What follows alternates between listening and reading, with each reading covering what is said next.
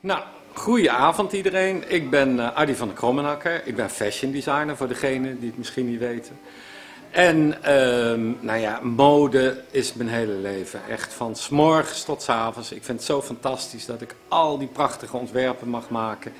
En dat die op de internationale catwalk ook komen. En dat ik ze terugzie in tijdschriften en ja, vanaf kinds af aan is ontwerpen echt mijn hele leven. Is gewoon fantastisch als je die creatieve gave hebt en dat mag ontwikkelen met behulp van iedereen.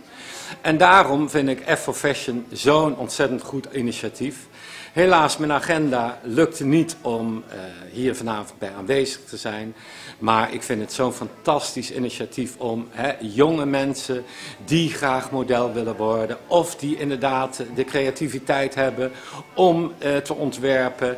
En die soms de kans niet krijgen. Want natuurlijk, hè, je moet ook een beetje geluk hebben in het leven. En uh, je moet ook soms verder geholpen te worden. Er zijn heel veel talentenjachten op tv, X-Factor en uh, uh, Holland uh, Next Top Model en van alles en nog wat.